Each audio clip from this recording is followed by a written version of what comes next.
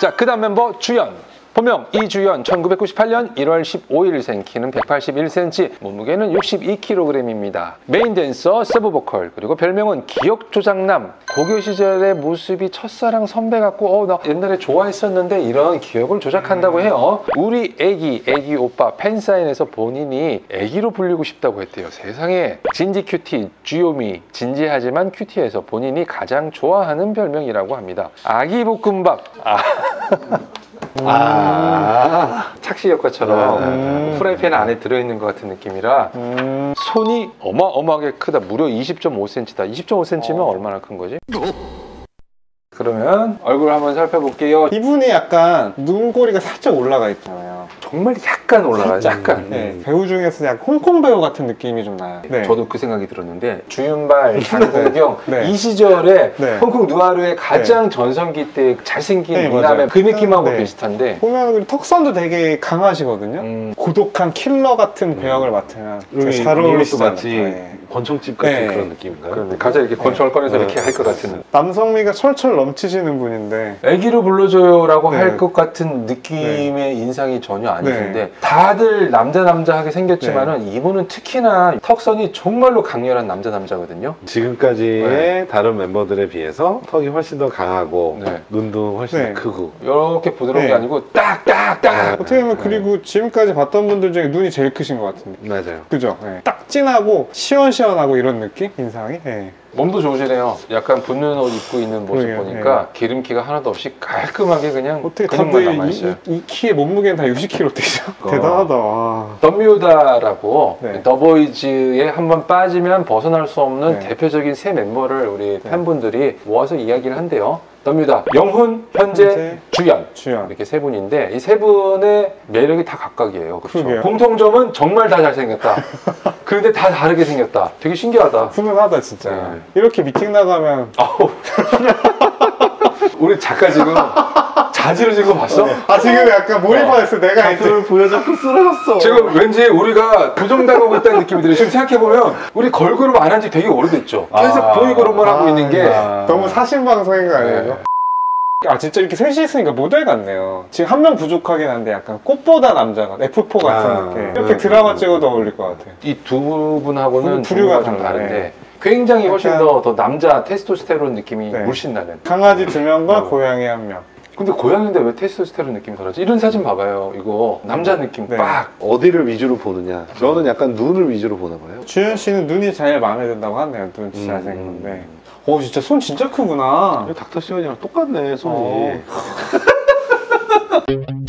그 다음 멤버. 주학년 본명 주학년 짜오흥님 1999년 3월 9일생 홍콩인 아버지를 둔 혼혈이십니다. 키는 175cm에 몸무게는 58kg 리드 댄서 서브 보컬이고요. 별명은 제주 소년 제주도 출신이시래요. 음. 학깅 학년 플러스 애깅 학옵 학년 플러스 오빠 그리고 돼지 토끼 마스코트가 아기 돼지라고요? 엄마가 돼지 농장을 하시고 본인도 돼지로 어필을 한다고. 농장주네요 농장주. 아이돌 2회차 연습생 때부터 현재가 아이돌 수준으로 표정 연기, 시선 처리, 카메라 찾는 게 능숙해서 초특급 팬 서비스로도 유명하다고 합니다. 데뷔 전 프로듀스 101 시즌 2로 알려졌고요. 한번 살펴볼게요. 이분은 약간 탤런트 느낌인데요. 네 쌍꺼풀 갱- 이분은 또 굉장히 진하세요 탤런트 또는 아나운서 이런 이미지가 확 납니다. 저는. 그렇네요. 오. 제가 쌍꺼풀 큰 음. 멤버가 없다 그랬는데. 네. 여기 여기 있었어 네. 그렇네. 쌍꺼풀이 네. 굉장히 또렷하시네. 음, 이분은. 음, 네. 근데 보통 쌍꺼풀이 또렷해요 하면은 약간 부리부리한 이런 느낌을 연상하는데 이분 전혀 안 그러시거든요. 되게 귀염귀염한 눈인데 쌍꺼풀이 크다. 오. 이게 보정 안 한 직직이에요? 피부가? 어떻게 이럴 수가 있어? 그러네. 진짜 그냥 직직이네. 네 반짝반짝하고 음. 윤이 나고 광택이 나는 이거야말로 진짜 도자기 피부 이렇게 되고 싶어서 이제 피부과 많이 오시는데 이렇게 좋으려면 좀 타고나야 되는 게 있어요 예. 이분 쌍꺼풀은 어떤 거예요? 좀 되게 특이한데요. 눈을 살짝 내리깔고 있을 때는 네. 아주 희미하게 속쌍꺼풀처럼 있는 듯 없는 듯 그런데 눈을 좀 뜨면서 갑자기 위에 쌍꺼풀이 확 생기면서 접혀 올라가거든요. 여러 겹이 있는 거죠. 어, 음. 여러 겹 중에 가장 또렷한 게 저희가 눈을 탁 떴을 보고 있는 때는 거. 위쪽에 하나 잡히는 거고 네. 네. 살짝 뜨고 있을 때는 속쌍꺼풀이 네. 보이듯 말듯 그리고 또 이쪽 사진은. 또 쌍꺼풀이 아주 잘 덜 떠서 그런지 없어 예, 보여요. 잘 네. 없어 보이는데 어... 활짝 뜨고 있을 때 쌍꺼풀도 굉장히 진하시네요. 예. 부은 날은 뭐 좀 더 저렇게 왼쪽 음. 사진처럼 좀 안 잡히고 뭐 그럴 수도 있을 것 같아요. 보면은 항상 명확하게 잡히진 않거든요. 음... 매일매일 변화가 있지 않을까. 웃는 게 너무 예쁜데요? 이분도 입이 크시네요. 더보니 약간 입 큰 라인, 입 작은 라인 나누셔야 돼요. 예. 각각의 매력으로. 예. 둘다 근데 매력적이라서. 예. 자, 그 다음 멤버 선우. 본명 김선우. 2000년생 세상에 4월 12일 생. 2000년생 드디어 네. 나왔어. 키 177cm에 몸무게 60kg 메인 래퍼 서브 보컬입니다. 별명은 선우. 너구리 닮았다고요? 이따 볼게요. 쪼프, 쪼코푸들. 도토리, 밤, 몰티저스, 애 늙은이 방송에서 집을 챙겨 먹는 모습이 애 늙은이 같다고. 데뷔 전 고등 래퍼로 얼굴을 알렸습니다. 서울 강동 대표 예선 음. 8위였다고 해요. 자, 그럼 2000년생 선우 씨 한번 살펴볼까요? 아, 이분은 딱 보자마자 매력 포인트가 바로 보이네요. 아, 입술이, 쌍꺼풀이 눈도 그렇고 입술이 어. 도톰한 그 약간 볼륨감이 되게 매력적인데. 입술이 이렇게 네. 좌우로는 짧아요. 네. 보통 보통 네. 이렇게 생겼어요. 이게 보통 말하는 키스를 부르는 입술이다. 이렇게 키스업을. 얘기하지 않나요? 네, 맞습니다. 눈도 되게 커요. 이분도 눈이 네. 속쌍꺼풀인데 좀 진하게 올라가고 네, 이분 네, 네. 쌍꺼풀이 안 보이잖아요. 얘 보면 되게 진하네 네, 네. 쌍꺼풀이. 속눈썹이 진짜 기신 것 같은데요? 지금 이런 사진 보면은 왠지 마스카라 했을 것 같은 느낌이긴 네. 하지만 그리고 또 클로즈업 된거 네. 보니까 이분도 out fold인데요. 네, 눈이. 그렇네요. 음, 그렇네. 여기 되게 진하네. out fold 쌍꺼풀이. 음. 야, 근데 이 사진은 정말 이쁘다. 그리고 한국 사람은 이렇게 잘 두상이 안 만들어져요. 장도영이라고 앞뒤가 이렇게 음. 길잖아요. 음. 옆모습 보니까 음. 그러네. 와, 서구형 두상. 네. 제가 진짜 부러워하는. 근데 보통 이분 한국 분이시잖아요. 이턱 라인도 보면 되게 서구적이에요. 네. 딱 각진 게 오히려 이 서양 사람들은 이런 턱 만들고 싶어서 필러다 음, 그런다면서요. 음, 고형물도 있고. 네. 그런 데 딱 각진 네. 턱선을 갖고 계시네요. 이, 이런 턱선이 굉장히 매력적인데 네, 턱선이 혹시나 진짜 이런 턱선 갖고 계신 분들 굳이 이거 네. 어, 깎거나 뭐 보톡스 맞거나 이러실 필요 없습니다. 저 턱이 정말 큰데 저런 모양을 딱 갖고 있다. 그러면은 다 깎고 싶어 하는 네. 거예요. 근데 이게 갸름한 와중에 저런 네. 모양이 보이니까 음. 우리나라 사람이 이렇게 턱이 있으면 얼굴이 이렇게 넙대대 보이잖아요. 음. 근데 이분은 갸름한데 턱선이 이제 딱 뚜렷하니까 그게 이제 되게 매력 포인트인 것 같아요. 그런데 지금 이거 커다란 안경 쓰고 나온 사진이 있는데 이거 보니까 장두영의 정말 중요한 매력 포인트 최고의 장점이 딱 느껴지네요 이렇게 큰 안경 썼을 때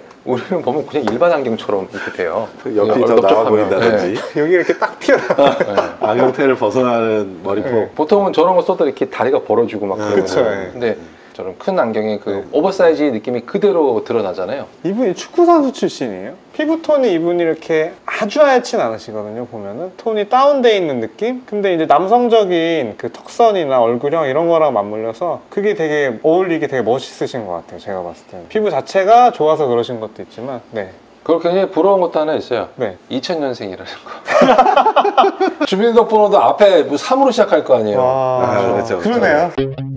자, 오래 기다리셨습니다. 마지막 멤버 에릭. 본명 손영재 2000년생 또 나왔네요. 12월 22일입니다. 게다가 여차했으면 2001년도에 태어나실 뻔했어요. 그러게요. 키는 174cm에 몸무게 56kg. 서브 보컬의 리드 래퍼, 리드 댄서입니다. 별명은 병아리. 노란 교복이 잘 어울려서 붙여졌지만 졸업 후에 탈병아리 선언. 꼬마돌, 포켓몬 꼬마돌을 닮았다고 합니다. 애깅 101번째 더비 이건 뭔가?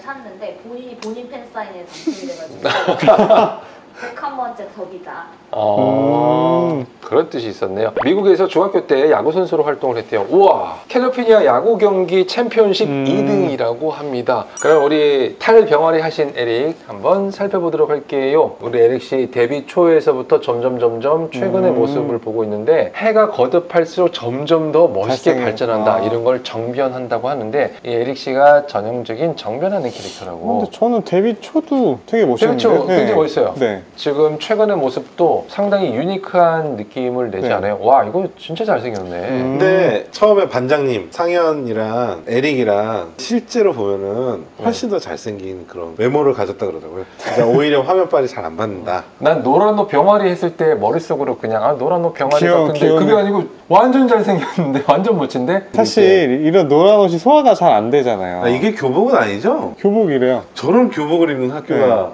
이거 소화하기 진짜 쉽지 야, 않을 것 넥타이에 같은데. 별이 가는 아. 오. 자 이분 얼굴 한번 살펴보면요 이 코끝을 보면 약간 뭉툭한 느낌 나잖아요 이게 음. 전형적으로 수술 안 한 코 그쵸. 이런 느낌이에요 네. 매부리도 살짝 있는 네. 거 보니까 네. 제가 봤을 때는 이거 자연산 원래- 같거든요 그쵸. 그 네. 모양이 네. 콧대 굴곡이 약간 네. 드러나 보이잖아요. 턱 이렇게 만들라 그래도 못 만들 것 네. 같은데. 그 코도 자연산에서 저렇게 오똑하고 이쁘게 만들어지기 정말 쉽지 않거든요. 네. 특히나 어, 이건 동양 DNA로는 네, 흔치 않은 좀 겁니다. 뭔가 서구적인 느낌이 네. 물씬 같이 있는. 제가 보기에는 멤버들이 좀 비슷하게 생긴 게 있어요. 아까부터 음. 보면은 T존이나 뭐 이런 것도 네. 다 전체적으로 음. 살아있는 편이고 일단은 몸이 다 좋은데 왜 이렇게 다 몸무게가 별로 안 나가지? 기본적으로 저랑 25kg 정도씩 다 차이 나. 이번엔 60kg도 안 돼. 56kg래. 어떡할 거야 이거. 보통 연예인분들이 매력 포인트의 점을 하나씩 갖고 계신 분들이 많잖아요. 에릭 씨는 어마어마하게 찾기 어려운 것에 매력 포인트 점이 하나가 딱 있습니다. 여러분도 혹시 알고 계신지 모르겠어요. 이 에릭 씨의 왼쪽 눈 아래 아이라인, 언더라인 그리는 그 위치 있죠. 거기에 딱 가운데쯤에 점이 하나가 살짝 있거든요. 이게 메이크업을 했을 때는 전혀 안 보여요. 그런데 메이크업을 딱 지웠을 때는 이 점이 살짝 보입니다. 이거를요, 또 우리 작가님께서 정말 이 에릭 씨 사진만 수백 장을 보고 나서 이건 점이 맞구나 라고 판별을 하고 저희한테 정보를 주셨어요, 방금. 이거, 네, 사실 네. 방송이었어. 덕 작가께서 네. 네, 발견했습니다. 혹시 우리 닥티리오 제작팀이 처음 발견한 점이라면은 저희 좀 칭찬해 주시고요. 이미 나는 알고 있었다 하는 분들도 밑에 댓글 좀 달아주시면 고맙겠습니다. 자, 이렇게 해서 더 보이즈 11 멤버들을 한 분 한 분 다 살펴보았습니다. 여러분들 어떻게 보셨습니까? 정말 다 조각 같은 약간 다비드상 같은 미남들만 모아놓은 그룹이라 재밌게 분석을 했던 것 같습니다. 11명의 멤버가 다 비슷해 보이는 부분도 있고 네. 또 각각 되게 또 다른 매력 포인트들도 있고 마지막으로 에릭 같은 경우에는 이렇게 눈 밑에 점도 하나 있고 참 재밌게 볼 수 있었던 것 같아요. 전원 센터돌이다 그리고 개한돌이다 라는 이야기를 듣고 딱 봤는데 정말로 개한이 되는 그런 느낌이었습니다 무엇보다도 이분들이 2017년도에 데뷔했거든요 데뷔 기간이 얼마 안 됐어요 네, 이제 맞아요. 시작하는 네. 그룹이란 음. 말이에요 그래서 앞으로의 행보 더 발전해가는 모습도 상당히 기대가 됩니다 자 오늘도 닥테리오 케이팝 스타 더 보이즈와 함께 아주 즐겁고 행복한 시간이었습니다 여러분들은 어떻게 보셨는지 모르겠습니다 조금이라도 즐겁고 행복하고 유익한 시간이었다고 하면 여러분들께서도 꼭 해주실 게 있습니다 바로 구독과 좋아요. 알림 설정 부탁드리겠습니다. 지금까지 저희들은 닥터리였습니다.